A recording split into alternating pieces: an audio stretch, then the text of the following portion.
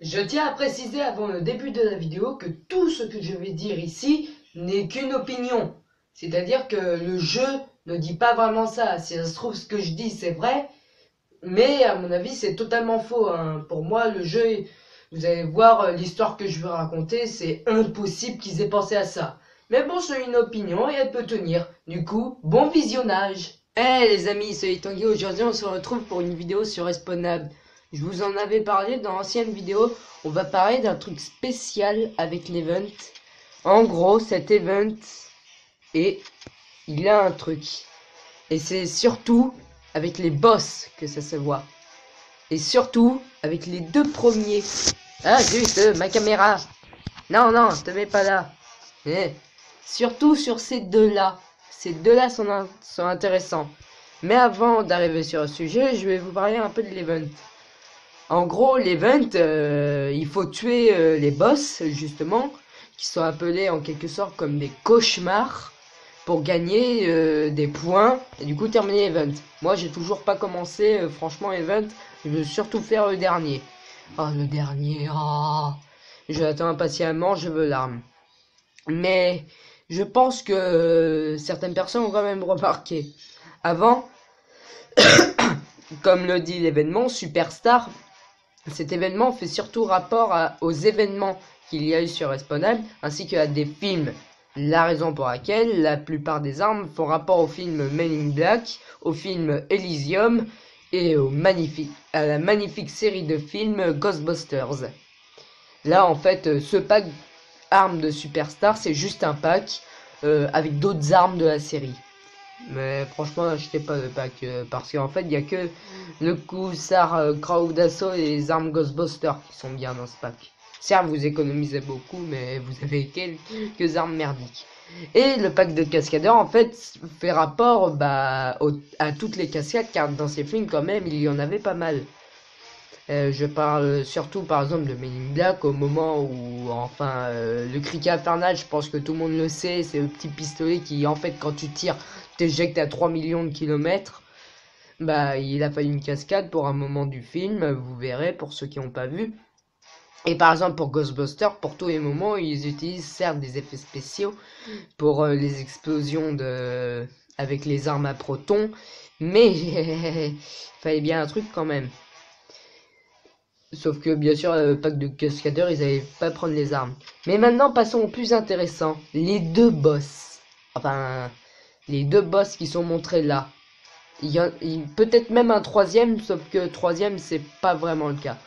Vous voyez le lapin de Pâques comme euh, le cyborg? Bah en fait, c'est cauchemar. C'est vous. Euh, ça peut être moi aussi, mais moi franchement, j'ai pas été à l'époque qu'il faut. Je vais vous expliquer pourquoi. Par exemple, ce petit lapin juste là. Et ben en quelque sorte, c'était vous lors de l'événement de Pâques où on pouvait obtenir le fusil à pompe qui tient, qui était l'arme finale. Et en gros, dans cet événement, quand vous le terminez, si vous récupérez des œufs de Pâques, car en gros euh, le but était de récupérer des œufs de Pâques, et ben à la place vous gagnez de l'or. Du coup les personnes ce qu'ils faisaient c'est qu'ils s'équipaient entièrement en tenue de lapin de Pâques pour euh, maximiser la récolte des œufs. Ils prenaient le fusil à pompe qui à l'époque était quand même très cheaté. Et le cyborg juste à côté. Bah c'est aussi vous lors de l'événement ninja qui permettait d'avoir le point de feu qui était un petit peu le lance-flamme mais avec 4 munitions à la place de 3. Lors de cet événement, vous pouviez acheter le pack de Ninja Cyborg qui a euh, tout ce qu'il a, qui était over cheaté pour une raison, c'est que le corps fait que quand vous mettez le truc d'invisibilité, vous restez invisible jusqu'à ce que la jauge s'épuise. C'est-à-dire que normalement, si on tire ou qu'on se fait tirer dessus, bah on réapparaît. Bah avec cette tenue, non. Vous aurez beau tirer ou être touché, tant que c'est pas fini, vous restez invisible. Et la tête permettait de voir les- où étaient les ennemis quand vous ne bougez plus. Bon, ça a changé. Les jambes, je sais plus ce que ça faisait. Et cet événement, du coup, il était hyper simple avec le pack. Comme personne pouvait vous voir et que l'invisibilité durait bien plus longtemps, bah du coup, euh, c'était impossible de vous trouver. Du coup, vous étiez piou piou piou piou piou, allez, je bute tout le monde, j'ai tous les points et je peux terminer l'event. Et le troisième boss, que je pense pas vraiment le cas, mais que si c'est vraiment le cas est très intéressant, c'est le Yeti. Souvenez-vous, c'est le méga boss euh, dans le premier trial avec l'arme finale qu'on peut pas voir. Attendez, je crois que si, si on va au 3, au quatrième, voilà, l'arme qui est au milieu. Il avait actuellement cette arme. Bah en fait, ça pourrait être nous dans le futur. En gros, c'est une représentation de nous quand de personnes qui obtiendront l'arme.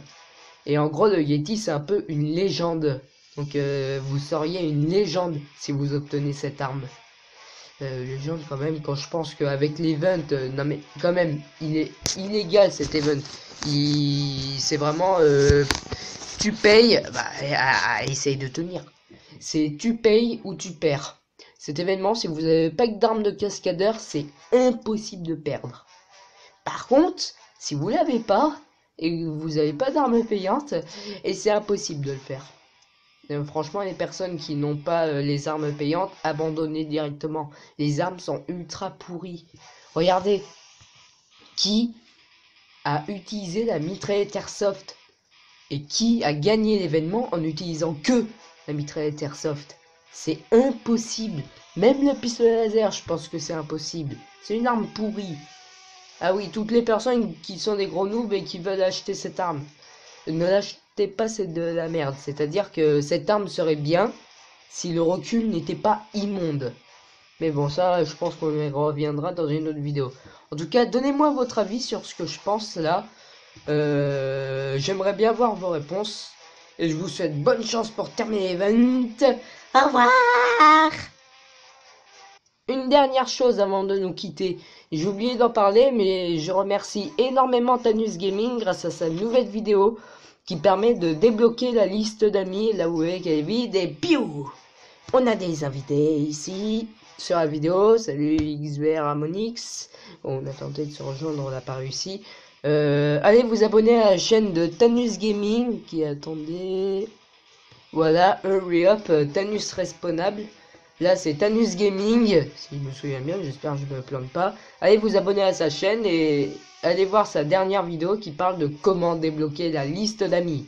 D'ailleurs, aidez-moi s'il vous plaît, parce que justement, moi, j'ai beau inviter, ça marche pas. Mais bon, du coup, cette fois, vraiment au revoir